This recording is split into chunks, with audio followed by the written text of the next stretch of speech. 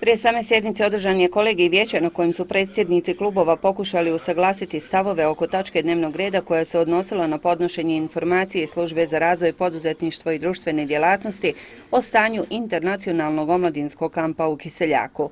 Kamp je u potpunosti devastirana. Klub vječnika SDA traži odgovornost onih koji su to dozvolili.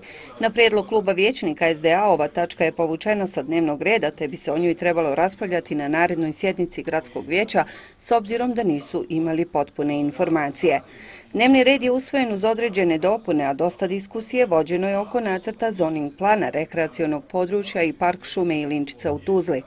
Zainteresovanost investitora već postoji, a realizacijom ovog projekta Tuzla bi dobila jedan savremeni rekreacioni centar. Bio bi to jedan veliki, e, veliko područje znači, koje bi predstavljalo još adekvatnu adekvatniju iskoristivost znači, tih nekih pluća grada, što se, e, da tako metaforično kažem, uz sve prateće sadržaje izrade etnosela, izgradnje etnosela, ovaj, smještajnih kapaciteta, bungalova, eh, zatim eh, sportskih terena, eh, što bi i u zimskim i u ljetnim uslovima dalo jednu kvalitetnu osnovu za provođenje vremena ljudima koji žele da se bave rekreacijom, koji žele da na pet minuta, maltene deset od Tuzle, provedu neko vrijeme u nekoj čistoj sredini, u nekom ekološkom okruženju i svemu onome što svakom gradu nedostaje,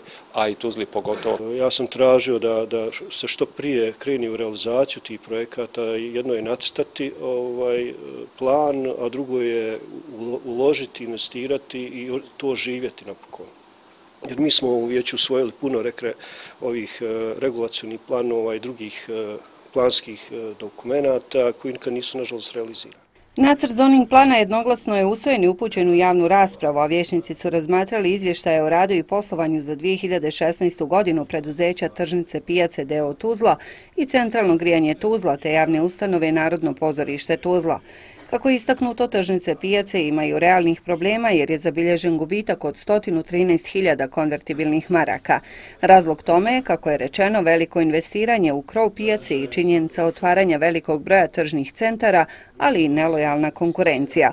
Gradski vječnici razmatrali su između ostalog i informacije o gradskom i prigradskom saobraćaju na području Tuzle te odobravanju konkursne procedure za dodjelu stanova u vlasništvu grada Tuzla.